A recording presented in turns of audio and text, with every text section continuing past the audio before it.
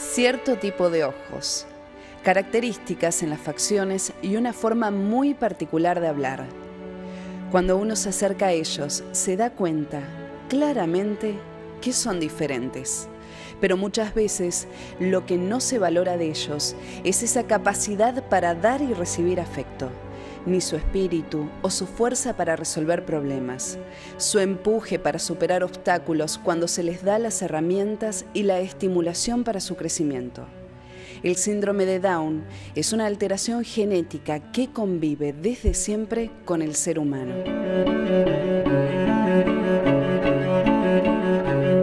Uno de cada mil nacimientos son personas con síndrome de Down, o sea que nos puede pasar a cualquiera.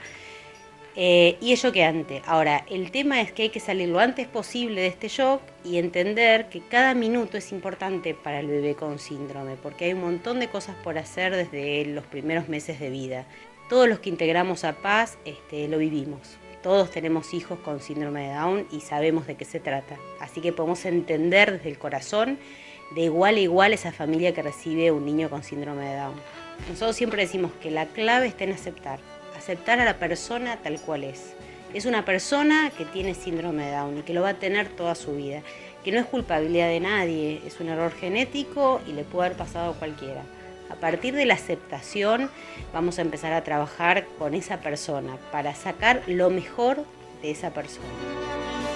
Eh, más allá de la patología que ellos tengan, ellos son personas que van envejeciendo, eh, no pueden tener una vida pasiva porque eh, no es redituable para nadie, eh, para nadie y menos para ellos.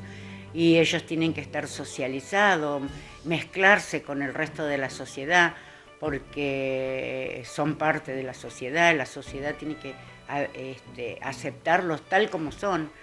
Y nosotros los padres tenemos que prepararlos para que ellos tengan una conducta donde las demás personas no los tengan que rechazar más allá de la patología por la conducta que tienen. Más allá de todo lo que hagan, siempre buscamos que ellos puedan disfrutar, que eh, puedan ser felices, eh, que estén disfrutando y gozando de lo que están haciendo.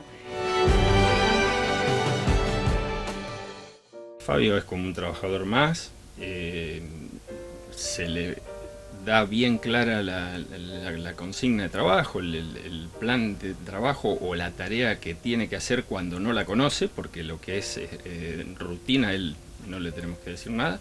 Y a partir de ahí, si no entiende, te pregunta y si eh, le salió bien de, una, ya ningún problema.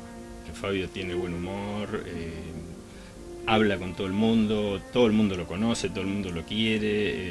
Me levanto a las 9, a las 9 hasta las 2 y vengo, y vengo y vengo acá y trabajar. ¿Y así estás contento? Sí, sí. ¿Estás contento trabajando? Sí, pues sí. Ah, todos los días hago, eh, me hago las frutas, y fruta, mequimes, gaseosa, solo pedido, ahora, ahora comida. ¿Te gusta trabajar? A mí sí, a mí me gusta. ¿Y te gustan tus compañeros de trabajo? ¿Te gusta trabajar en este lugar? Sí, sí.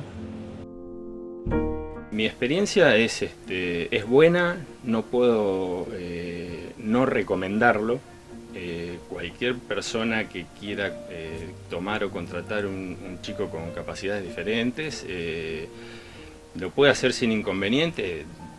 Por mi experiencia hablo, porque bueno, Fabio tiene, es muy leve el problema que tiene y no tiene ningún inconveniente para desempeñarse y para el diálogo bueno, con la gente, con todas las tareas normales puede hacerlas por lo menos Fabio. En realidad nosotros este, como grupo de padres fundamos la asociación porque en un momento de nuestras vidas se nos planteó el egreso de nuestros hijos de la escuela laboral. Eh, entonces, bueno, cuando ellos egresaron de ese lugar, nosotros este, nos vimos en la obligación de generar algún espacio para que ellos pudieran seguir desarrollando actividades y seguir desarrollando su potencial si en el seno de la familia no hay discriminación y los tratamos de igual a igual conociendo sus limitaciones, eh, la persona con síndrome se puede desarrollar perfectamente en sociedad, puede vivir incluida, puede estudiar, puede trabajar, puede hacer una vida totalmente normal.